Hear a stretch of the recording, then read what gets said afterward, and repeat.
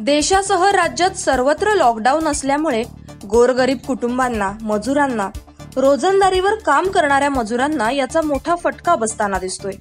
एकीकडे पोलीस यंत्रणा जीवाची आणि कुटुंबाची पर्वा न करता आपले कर्तव्य योग्य रीतीने बजावत आहेत. पण त्याच सोबत माणुसकी म्हणून गोरगरिबांना वेळोवेळी जीवनावश्यक वस्तूंचे वाटप करताना देखील पोलीस जागोजागी दिसत आहेत अशाच पद्धतीने पनवेल शहर वाहतूक शाखेकडून देखील एक मदतीचा हात पुढे केल्याचे दिसून आले. पनवेल रेल्वे स्थानक परिसरात असणाऱ्या गरीब आणि गरजू लोकांना पाणी आणि जेवण वाटप पनवेल शहर वाहतूक शाखेतर्फे करण्यात आले. यावेळी पनवेल शहर वाहतूक शाखेचे पोलीस निरीक्षक अभिजित मोहिते आणि वाहतूक कर्मचाऱ्यांनी यामध्ये पुढाकार घेतला.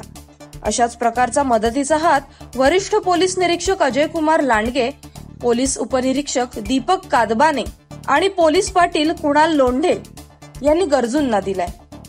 करंजाडे जनरल स्टोअर असोसिएशनच्या मदतीने करंजाडे आणि पनवेल मधील झोपडपट्टीतील मजूर आणि नाका कामगारांच्या साठ कुटुंबांना पंधरा दिवस पुरेल इतक्या जीवनावश्यक सामानांचं वाटप केलंय. एकीकडे बंदोबस्तासाठी रात्रंदिवस झटणारे आणि वेळ प्रसंगी कायदाभंग करणाऱ्यांवर कारवाई करणारे पोलीस या कठीण प्रसंगी गरजूंना मदतीचा हातही पुढे करताना दिसत आहेत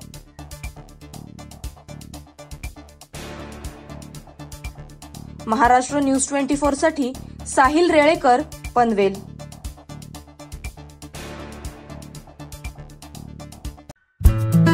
नेरळ स्टेशनपासून हाकेच्या अंतरावर बुक करा.